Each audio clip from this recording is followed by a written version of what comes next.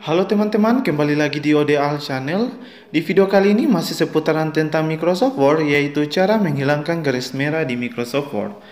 Ketika kita menggunakan Microsoft Word, kita sering melihat garis merah atau hijau kata-kata yang kita tulis seperti ini.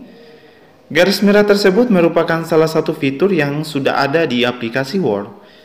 Fitur ini memiliki nama proofread yang bermanfaat untuk melihat ada kesalahan kata-kata maupun susunan kalimat atau tidak garis merah yang muncul tersebut menandakan ada kesalahan kata atau kalimat dan anehnya garis ini akan muncul di banyak tulisan teman-teman.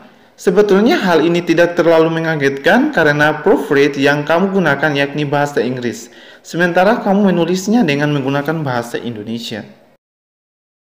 Maka dari itu, untuk menghapus garis merah di Word menjadi salah satu solusinya. Langkah pertama untuk menghapus garis merah di Word yaitu dengan membuka aplikasi Microsoft Word, teman-teman bisa membuka dokumen yang telah tersimpan atau halaman baru di Word. Setelah itu, cari menu file di sudut kiri atas dan klik menu tersebut. Setelah teman-teman mengklik menu file, muncul beberapa pilihan. Teman-teman tinggal memilih menu option yang ada paling bawah.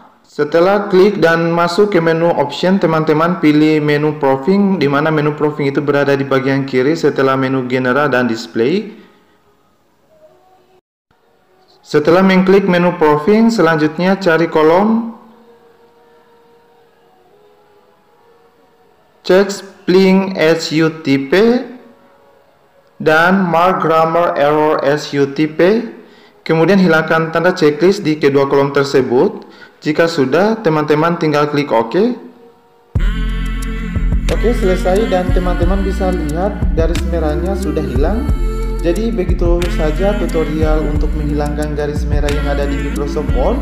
Semoga video ini bisa membantu. Terima kasih sudah menonton sampai habis.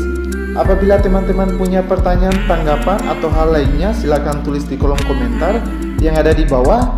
Like video ini apabila kalian suka, subscribe bila perlu. Sampai jumpa di video saya selanjutnya. Bye bye.